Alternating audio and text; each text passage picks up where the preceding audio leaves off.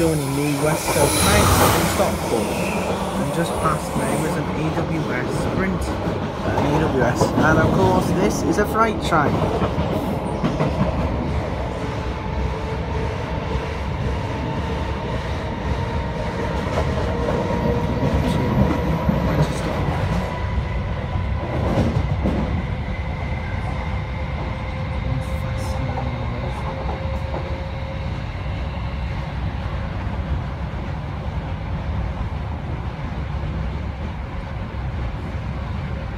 Longsight Depot, which is which is being part of the company Alstom, responsible for looking after the Virgin Train and within them the tilting fleet.